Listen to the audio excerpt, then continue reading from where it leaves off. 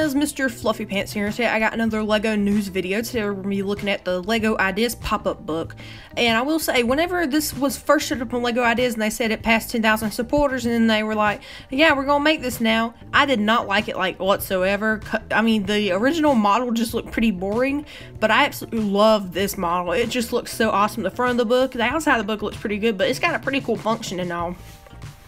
But this is going to be $70, I believe. It's got like 800 and something pieces, which is a pretty good price. It's from JK Brickworks, the same person as the Marble Maze and all that kind of good stuff.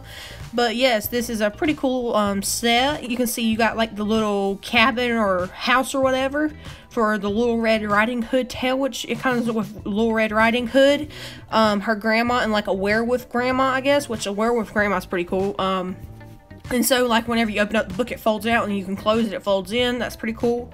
Then it comes with a secondary, like, little display thing, which is Jack and the Beans, Beanstalk, which comes with a giant minifigure. And then Jack is like a little microfig, which I think is pretty cool. Beanstalk's pretty cool and all, but I would definitely say I like the house a little bit better, if I'm going to be completely honest.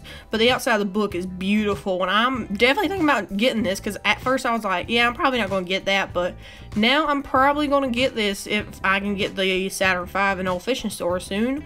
But anyway, guys, let me know what you guys think of this book down below, if you're, or this Lego set down below, and if you're going to get it or not, because I think I might eventually, probably not right away like a lot of sets, but um, check me out on Twitter at FluffyPantsRev. Like and subscribe for more. Check out some of my other videos, and I'll see you guys later. Bye.